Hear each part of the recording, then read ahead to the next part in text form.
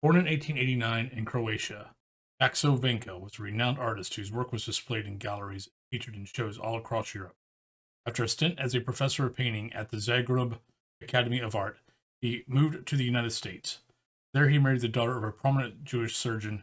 It was just a few years later when he, his work caught the eye of a priest. Father Zagar was the leader of Millvale's St. Nicholas Croatian Church, and he fell in love with Vanka's paintings. The priest commissioned the artist to paint murals on the ceiling and walls of his church. It was a grand project with enormous scale, sometimes referred to as Pennsylvania's version of the Sistine Chapel. Vanka toiled away at the paintings which would show Croatian immigrants battling to stay alive in the midst of World War I and their journey to America, all the while guided and protected by Christ and Mary, Mother of God. Vanka often worked up to 18 hours straight, but preferred to paint in solitude, so that no one could interrupt his process. This often meant working straight through the night when the church was empty and locked from outside. While the painting was going well, Vanka's desire for privacy didn't go as smoothly. One night he saw Father Zagar walking back and forth up and down the center aisle, waving his hands and gesturing as if he was conducting a sermon, but the father didn't speak out loud. Vanka was annoyed at the interruption, but otherwise found the priest to be hospitable and gracious and chose not to complain. Several nights in a row, this scene repeated itself. Finally, Vanka left the church to take a brief break, stepping in the rectory to escape the priest's interruptions. Much to his surprise, he found Father Zagar in bed and sound asleep.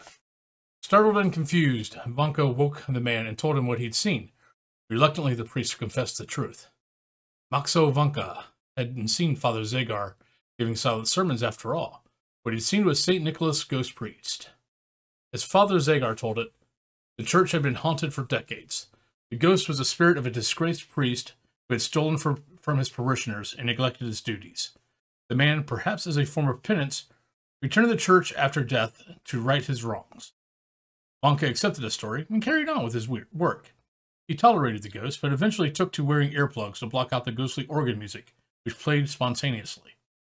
He chatted with the other regulars at the church, the housekeeper, parishioners, who all acknowledged the ghost priest. They explained that they weren't afraid, but stayed out of the church after midnight so that he could hold his sermons. While Vanka worked, he once saw the eternal flame blow out. Additionally, he witnessed the ghost priest light candles. Father Zagar often heard the ghost knocking on the walls of his bedroom.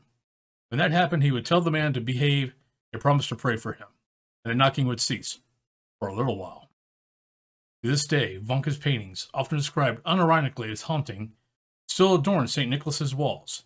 The ghost priest is still there to churchgoers, especially those who are more sensitive, have caught glimpses of him in the peripheral vision. One church janitor even saw the man sitting in a pew. Believing it to be a lost soul of a different sort, the janitor approached him and put his hand on the man's shoulder, but upon his touch, the ghost disappeared. I get it. I don't like being touched by strangers either.